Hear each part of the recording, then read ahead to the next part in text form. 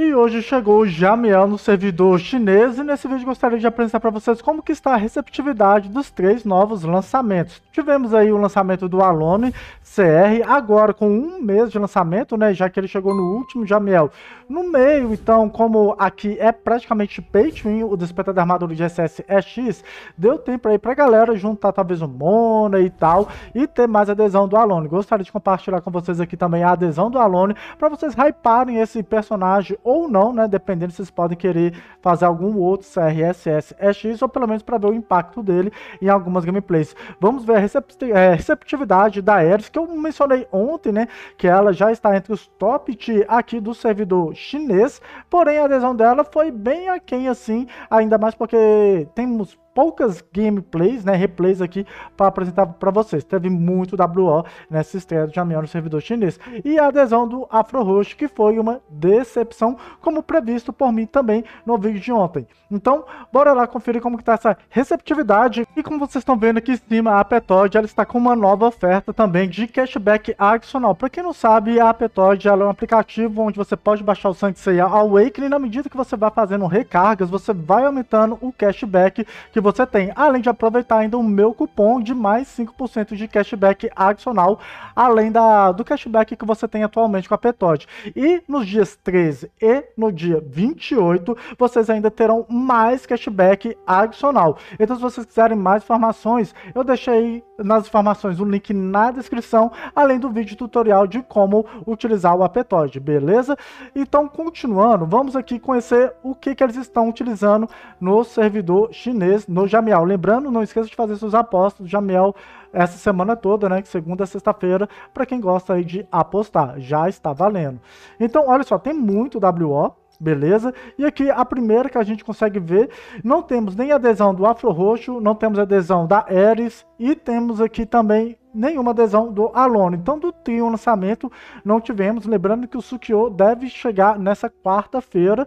Não sei se o Sukio vai aparecer aqui, mas se aparecer com certeza eu vou trazer as replays para vocês. Então continuando, deixa eu ver onde eu parei aqui, parei aqui.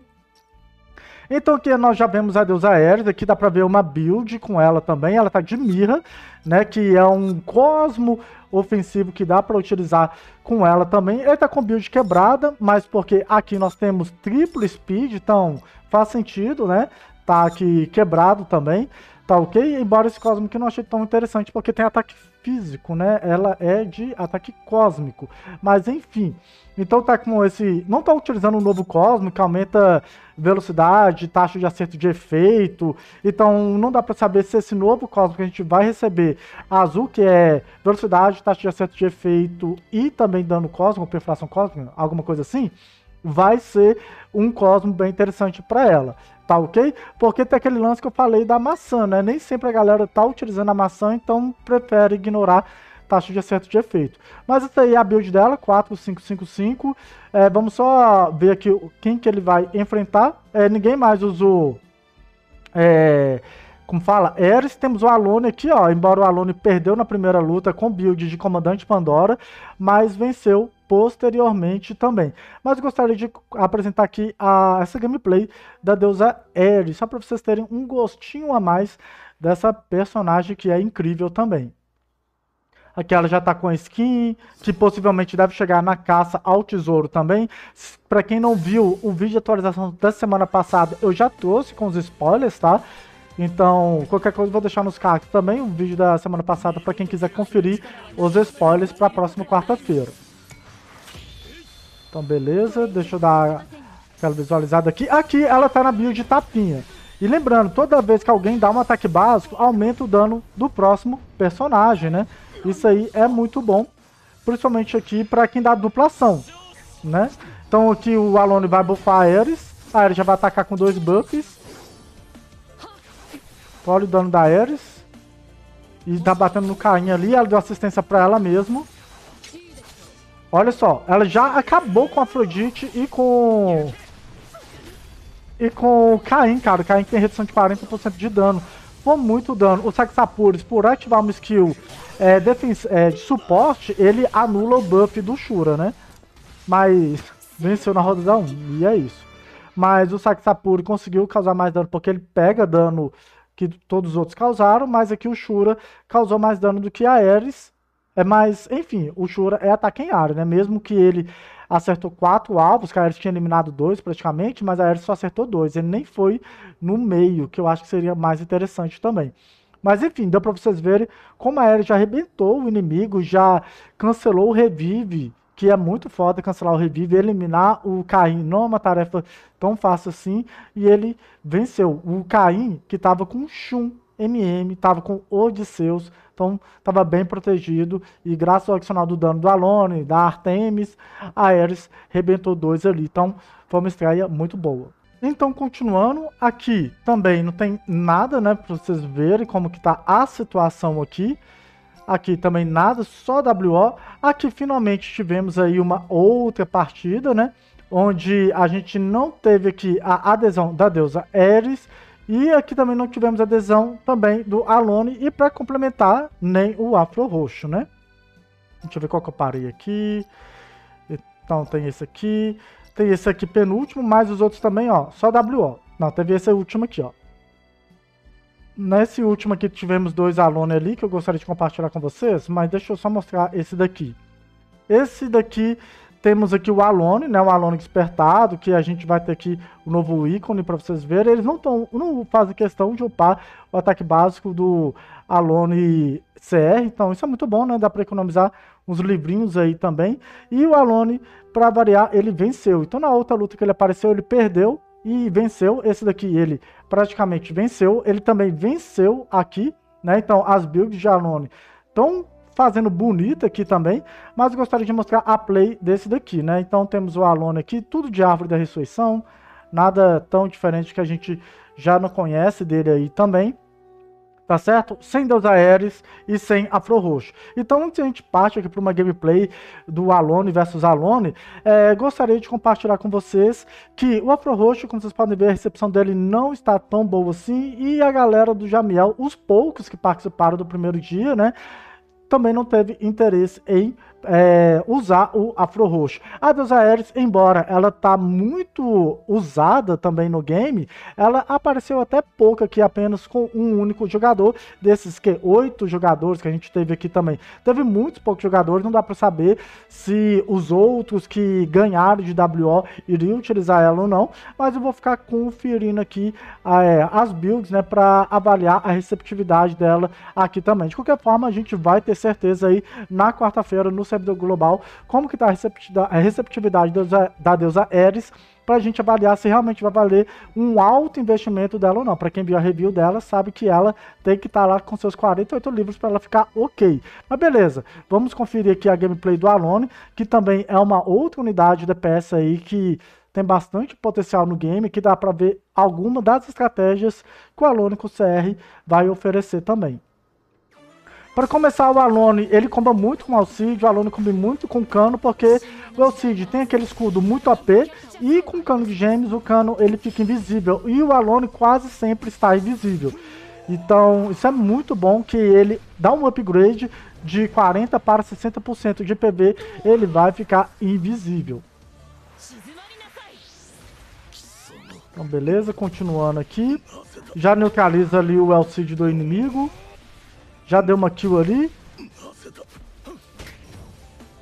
Ele ativou o escudo ali do nada. Era pra ele falecer, mas enfim. Vamos lá. Agora vai bater no escudo. Já protegeu ali o Alone também, não sei porquê. O Alone é interessante perder vida também, mas pelo menos já garantiu ali, né? O Alone vai ficar protegido. Então usou aqui a troca de vida com o Elcid, recuperou a vida. Olha essa estratégia do Alone. E ainda por cima, cancelou a vida do Elcid de baixo. Muito quebrado isso, né, galera? Muito quebrado isso. Já que ele não iria dar seu ataque extra mesmo, para ele dar seu ataque extra, ele tem que estar com duplação, normalmente com Shu MM. Aí recuperou vida. Então, muito show. Essa estratégia aqui do Alone. E ele pode recuperar a vida aqui do aluno em qualquer do auxílio em qualquer momento, o de baixo também. Mas aqui ele já está protegido com escudo e tal. E outro detalhe também do aluno, né? Se você conseguir marcar quem fica invisível, olha só, o aluno de cima já está marcado com um invisível, então Oh, quer dizer, já tá marcado, então mesmo se ele ficar visível, você consegue bater nele. Ativou a árvore. Congelou ali.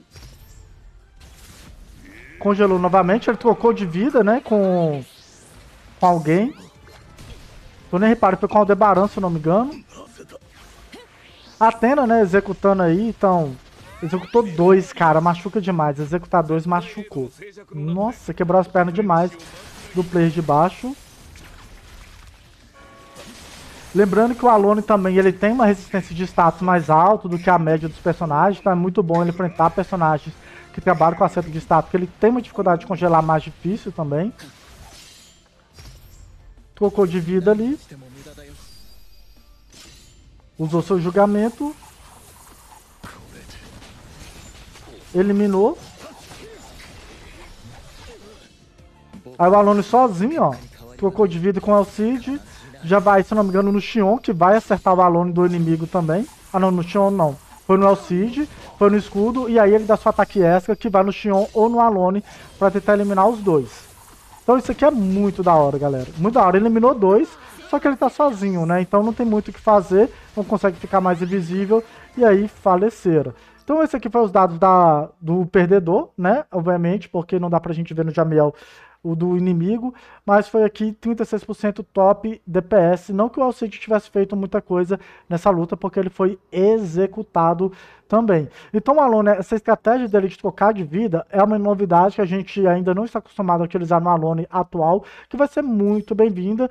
E é isso, galera. Isso então foi um pouquinho do Jamel chinês, mostrando que o Alone está com uma aceitação bem favorável aqui no servidor japonês, mas deu para perceber que ainda o Elcid está sendo mais bem quisto do que o Alone CR, ok? A Ares fica ainda um pouquinho nebulosa, embora ela tá sendo uma das personagens mais jogadas aqui no servidor chinês, né? Se tornando a top 20 e ela tá aparecendo muito nos duelos galácticos, mas não sei ainda identificar o porquê que a galera não quis montar uma build dela no Jamiel.